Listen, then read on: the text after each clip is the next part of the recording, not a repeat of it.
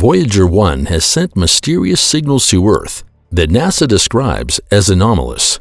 No other man-made object has ever traveled as far into space as the spacecraft and its identical sister probe. But what happened to Voyager 1 in the depths of space? Have we finally got an answer to the Voyager golden records?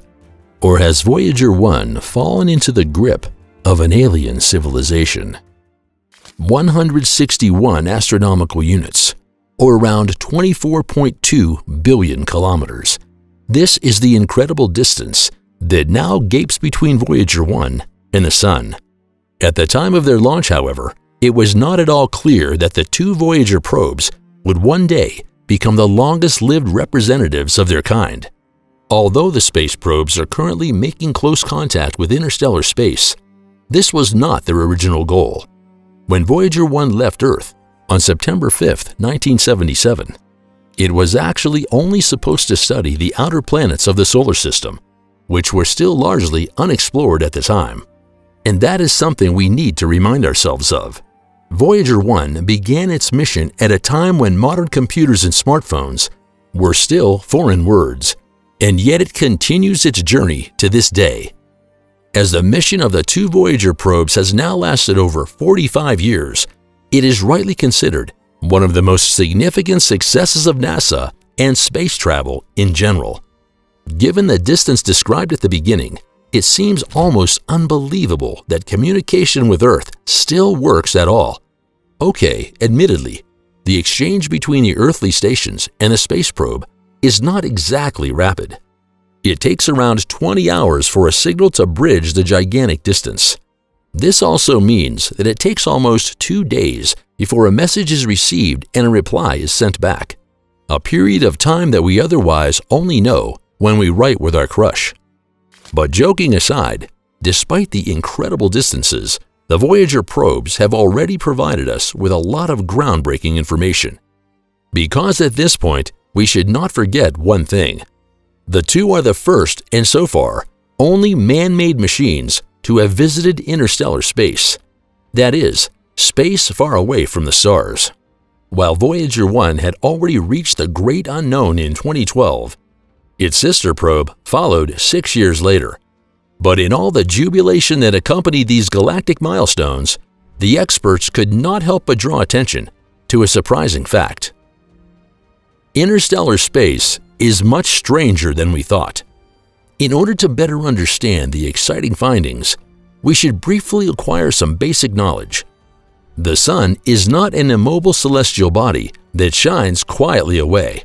On the contrary, it is a nuclear furnace that races through space at a speed of 725,000 kilometers per hour. Dynamic magnetic field lines extend around the host star.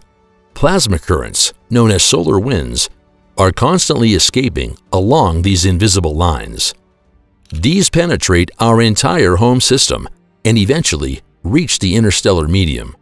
In other words, the particles, magnetic fields, and radiation that were catapulted away during and after the Big Bang and still exist today in the space between the stars.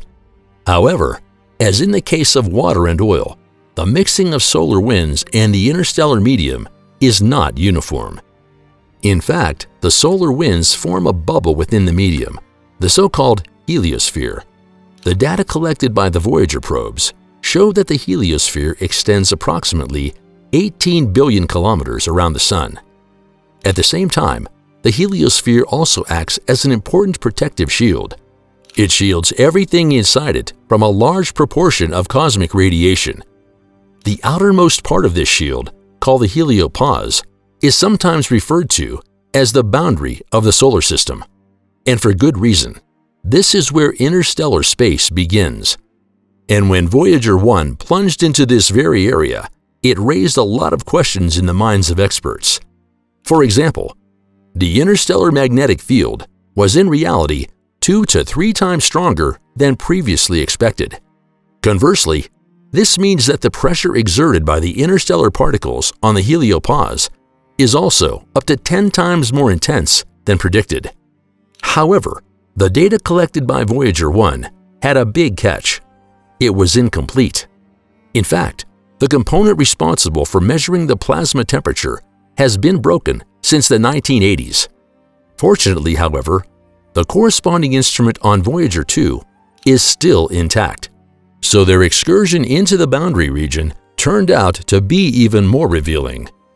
Now we know what happens when an object approaches the heliopause. The surrounding plasma slows down, becoming denser and heats up. However, the plasma is so thin and irregular in its composition that the temperatures around Voyager turned out to be astonishingly low. However, this did not apply to the interstellar medium itself. At just under 30,000 degrees Celsius, this is much hotter than expected. That's pretty, pretty strange. Furthermore, the data transmitted by Voyager 2 confirmed that the plasma from both sides of the heliopause spills over into the other area. The researchers describe the corresponding composition as a stream of low-energy particles that extends 160 million kilometers into the heliopause. Another fact that puzzled the scientists was what the probes experienced as they approached the heliopause. At a distance of around 1.3 billion kilometers, Voyager 1 entered a relatively static area where the solar wind had slowed down drastically. Before crossing the heliopause, however, Voyager 2 flew through an area that differed markedly from its comparatively static counterpart. Heliophysicist Patrick Koehn who works as a program scientist at NASA headquarters, summed up the researchers' confusion. This is really quite, quite strange. It proves to us that we really need more data. A statement that is not only aimed at the different insights of the two probes, but also at the fact that our overall picture of the heliosphere has enormous gaps. In fact, we don't even know what shape the structure is. It may be a sphere but it is also conceivable that it resembles a croissant or has kind of a comet tail. Why is Voyager 1 sending such strange data? But then, after all those years of discoveries and milestones, Voyager 1 suddenly started sending a vague jumble of data that just didn't make sense. It didn't take long after this report was published for the online community's imagination to run wild. Had Voyager possibly been hijacked by an alien species? Have the aliens reprogrammed the probe to send it back to Earth with a galactic declaration of war? Fortunately, the situation was not quite that dramatic, but the signals were still absolutely baffling. It seemed that the strangely chaotic telemetry data was generated completely at random. The information from the attitude articulation and control system suggested a system failure, but apart from that, the probe was working perfectly. The corresponding attitude control system is responsible along with other things for aligning Voyager's main antenna precisely with the Earth. This is the only way to ensure communication over a gigantic distance. In view of the nonsensical AACS data, it was all the more surprising that the data transmission of the scientific instruments proceeded as usual. Moreover, Voyager continued to respond to terrestrial commands. Since the signal strength of the radio link was also unchanged, the main antenna must still be pointing towards Earth. But what was the problem? Well, fortunately, a few weeks later, the experts managed to track down the Air Devil and crack the riddle of the mysterious data records. First, NASA engineers discovered that the attitude control system was actually working correctly. Well, with one caveat. It was trying to falsely send the telemetry data to Earth via an onboard computer that had not been working for years. As a result, the information arrived at the Earth stations as chopped up data garbage, causing nothing but confusion. Once the cause had been discovered, NASA used the radio antennas of the Deep Space Network to send the command for the AACS to transmit the data to the correct, intact onboard computer in the future. With success, the experts were once again able to enjoy consistent telemetry data. And yet, one mystery remained unsolved. What caused the attitude control system to fall back on the wrong computer in the first place? NASA employees could only speculate on this. The cause may have been a faulty command from another component of the onboard electronics. This in turn could mean that another component is defective and that the engineering team will have even more work to do in the future. Voyager 2 is lost in space after a wrong command. In fact, the next setback was to follow in July 2023. This time, Voyager 2 was affected. NASA had made a serious mishap. An error in the commands caused the probe to misalign its antenna by 2 degrees. From then on, it pointed past Earth. So while Voyager 2 and the earthly researchers were communicating at cross purposes, the experts worked flat out to re-establish their connection. Around two weeks after the gigantic loss of contact, the redemptive news arrived. A space communication station in Canberra, Australia had sent Voyager 2 a signal to point its antenna back towards Earth.